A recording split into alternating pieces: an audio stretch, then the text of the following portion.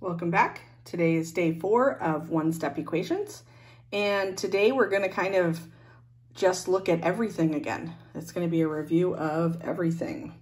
So we are remembering that in an equation, we are trying to get x by itself.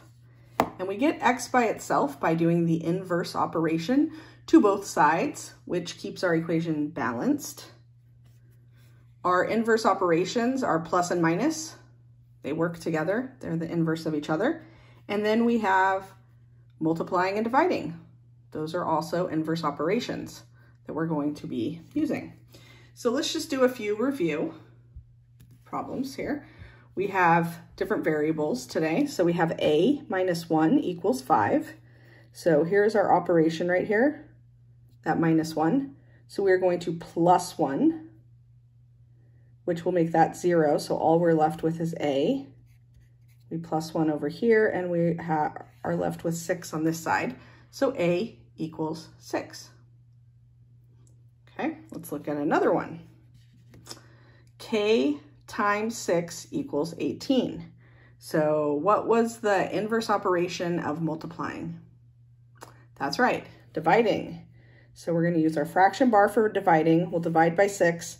The 6 divided by 6 equals 1, so we're left with k.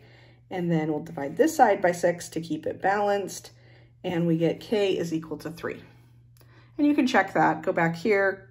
3 times 6 equals 18, so we know that we're on the right track there.